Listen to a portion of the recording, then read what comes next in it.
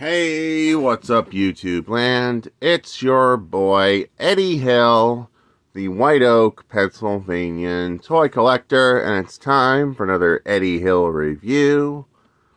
It's review time, people. And today we'll be reviewing some epic random figures. But yeah, we're going to look at the one figure I don't have any comparisons for. Uh, this is the wooden doll I got for free. This is my last freebie from my first, my uh, third or fourth freebie pile. And she is a wooden doll you paint. Kind of like the ones Santa used to make on Christmas. Uh, and, and you know, Christmas, Santa made wooden toys like this and he painted them and they look a lot more better than anything I can make. Because my designs are more not as good as others. I do Clone Trooper drawings better.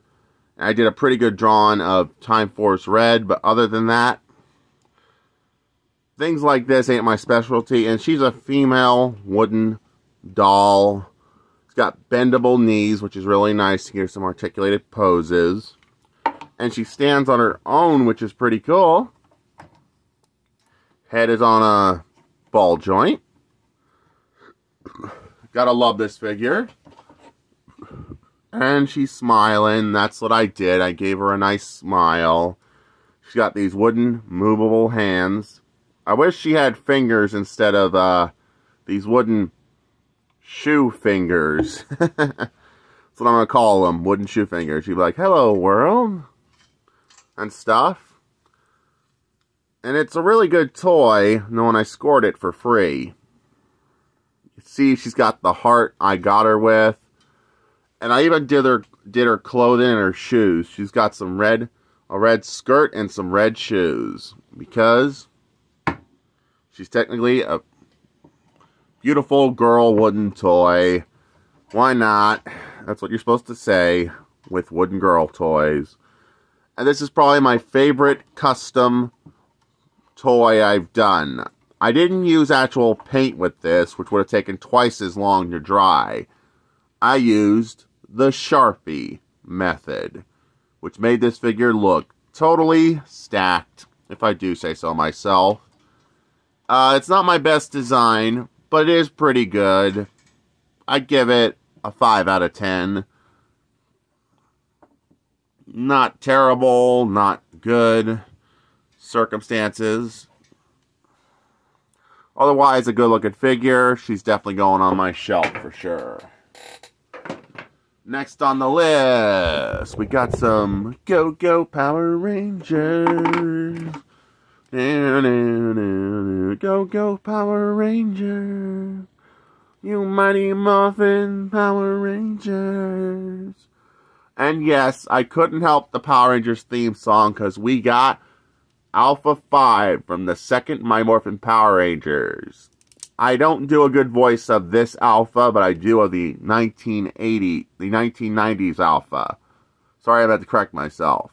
Aye, aye, aye, Zordon. We need Rangers to defend the Earth, Zordon. Aye, aye, aye, we're all gonna die. And yeah, I love having Alpha 5 in any form in my collection. It looks like he's got a flying saucer head. Kind of cool. Love it. No bendable knees. Hinged ankles. No bendable elbows. Greetings, Power Rangers. Good to see you again. It's me, Alpha 5. And yeah, I don't have any other Alpha 5 comparisons either. Next, we look at our Mighty Morphin Flip and Change. Blue Ranger, and this is a 90s original figure, not the re-release. We got Billy. It's Morphin time! Hiya! Take this! Hiya! And yeah, it's just like the Retromorph figures, but it's uh, older. Speaking of Retromorph, let's bring out a Retromorph. Uh, Pink Ranger. And yeah, newer one is better in paint. lastity than this one, but otherwise, it's okay for what it is.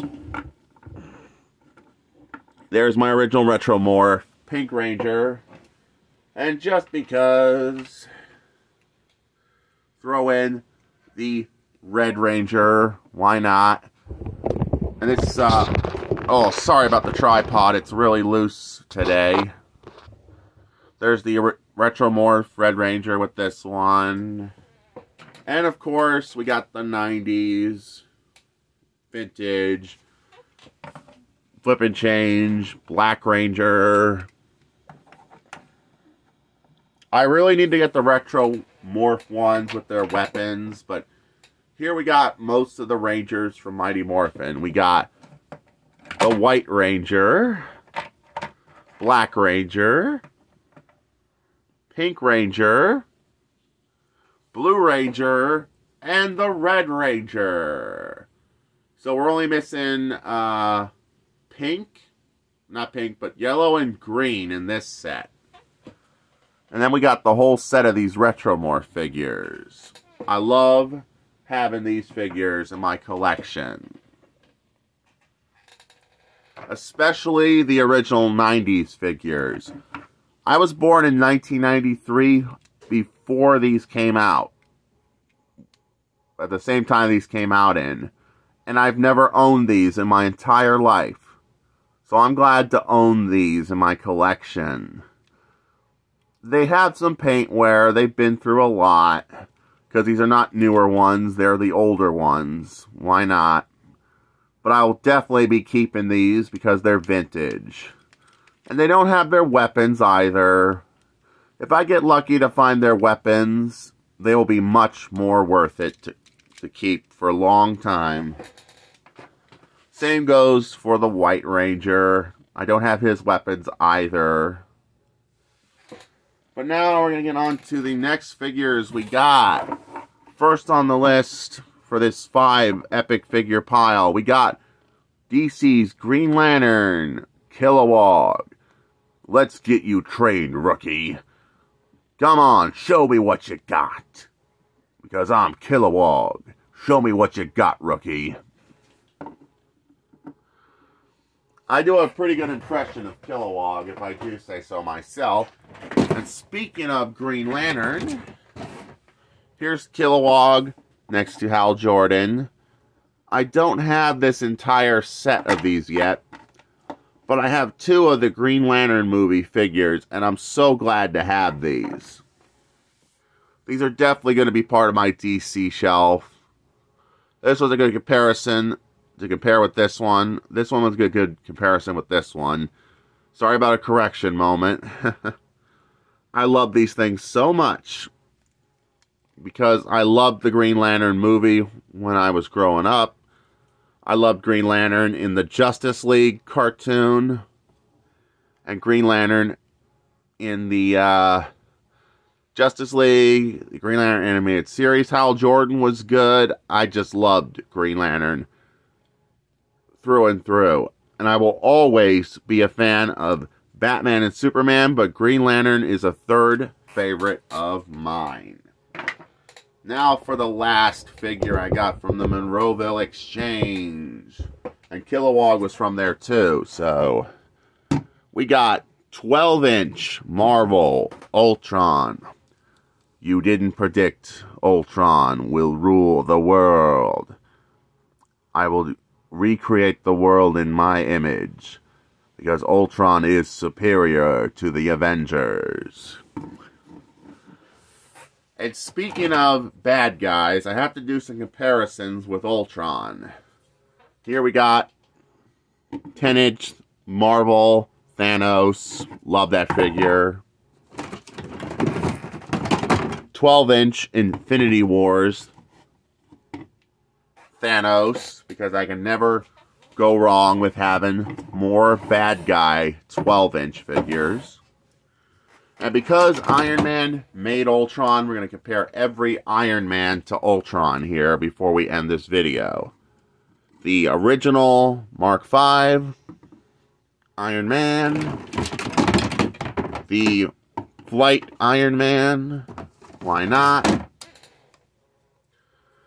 The Playskool Beefy Iron Man. Stealth Iron Man. And of course, Iron Patriot. And this is how many figures I own that are actually mech suits or robots. So yeah, I own quite a bit of Iron Mans in my collection, plus the creation of Iron Man Ultron.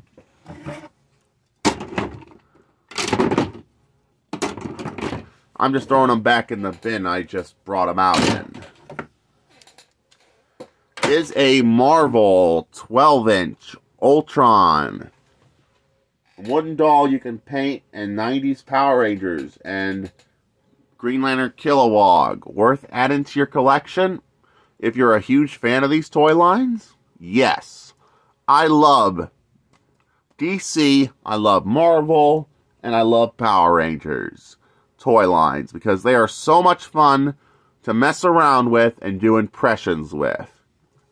And Ultron, he's probably the coolest villain in the Marvel movies, and I'm so glad to have a figure of Ultron.